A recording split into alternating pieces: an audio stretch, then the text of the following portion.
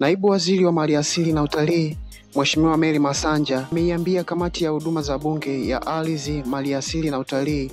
kuwa Wizara ya Maliasili na Utalii itafanya kazi maelekezo yaliyotolewa na kamati hiyo kuhusu kuzifanyia upya uhakiki hoteli na loji za kitalii ambazo hazifanyi kazi vizuri, kukabiliana na changamoto ya huduma za malazi kwa watalii hapa nchini. Mheshimiwa Mary Masanja ameyasema hayo kwa niaba ya Waziri wa Maliasili na jijini Dodoma mara baada ya kupokea ushauri na maelekezo yaliyotolewa na kamati ya kudumu ya ardhi, maliasili na utalii kuhusu taarifa ya wizara katika utendaji kazi wa hoteli na loji za kitalii za serikali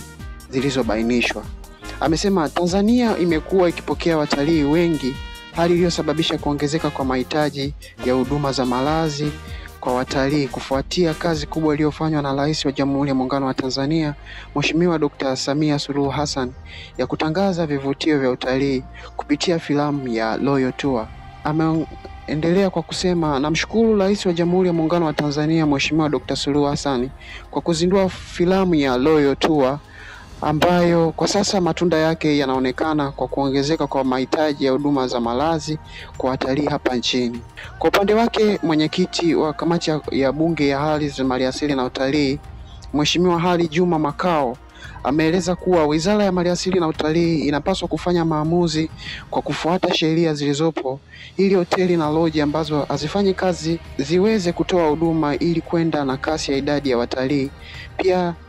kuongeza mapato yatokanayo na biashara ya utalii, kuongeza tija na ufanisi katika uendeshaji wa hoteli za kitalii. Alisema inabidi tufanye maamuzi ya haraka sana